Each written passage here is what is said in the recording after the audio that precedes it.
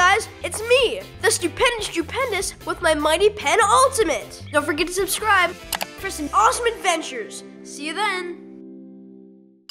It's time for a brand new adventure with Drew Pendous and his Mighty Pen Ultimate. It was D E A R, Dear Day at Cool School. That's when you drop everything and read. Isn't this just the best? I love Dear Day. Drop everything and read means a whole day of story time. One of my favorite days. Got my special Dear Day popcorn. Whoa! I can't wait to dive into these books. Uh oh, kids. Looks like there are some unexpected visitors in class today. It's Ray Blank and Timid Timmy. I bet they're up to no good. I hate Dear Day. Me too. Ugh, you don't even sound evil. Sorry. I mean, sorry. All right, we're ready to go. Time to drop everything and look out!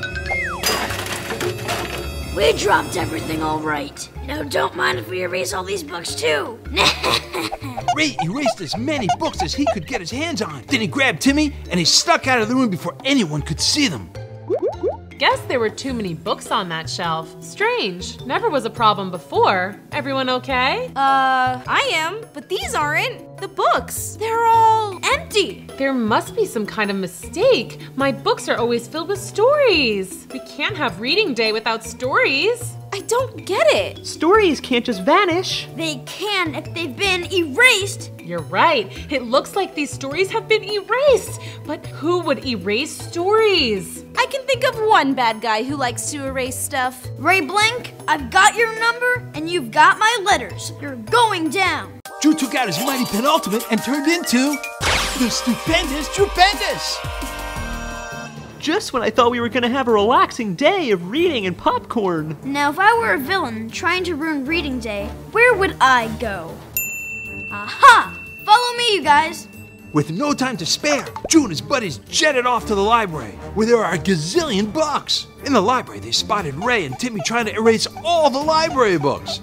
Oh no, they're trying to erase them all. Does that mean no reading ever again? Not if I can help it. Listen up. I've got a plan. Timid Timmy was walking in the library when a book suddenly appeared in front of him. Ooh, that looks like a good book. How to be a real villain for dummies. Ooh. But Ella was moving it on a string. Uh-oh. Then Drew caught him in a blanket. Ah. Here, read this, but stay quiet. Okey doke. Thanks, Drew. Timmy, where are my books? Robbie, that's your cue. Coming right up. Robbie quickly grabbed a stack of books and headed straight in Ray's direction. About time, Timmy. Gotta start being reliable if you're gonna be a real villain, okay? Hello? Ah. You're not Timmy. Uh, nope. Come to help me erase these books too, have you?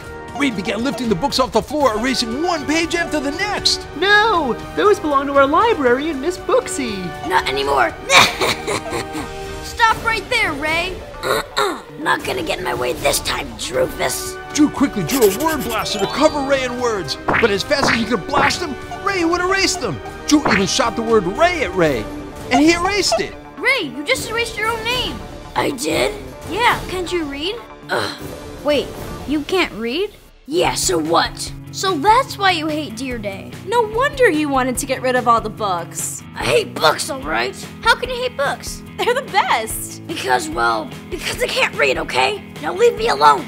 So we'll teach you. It's not hard. Just take some practice. But who cares, okay? Reading's for losers anyway. No, it's not. Reading's the best. I bet you would change your mind if you came to story time, especially Miss Booksy's story time. Yup, she makes reading easy and super fun. I even learned to spell donut. D U G A uh D O G. See, everyone makes mistakes. Reading takes practice. And that's what story time is for. No, uh, I, I couldn't. I mean, well, there's no way anyone's letting a villain into story time. Well, we will if you promise to stop erasing all of our books. Uh, well, alright.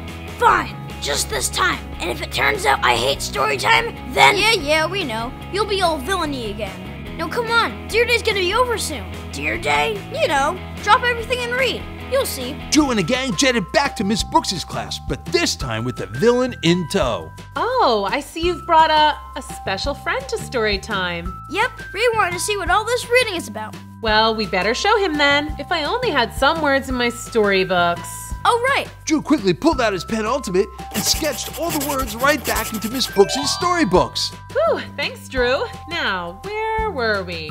Ah, yes. Once upon a time. Well, boys and girls, land, Drew had saved the day once again. Dear Day was back in action, and this time everyone was reading. Uh, hello? Anybody out there? Oh well, guess I'll just keep reading my book.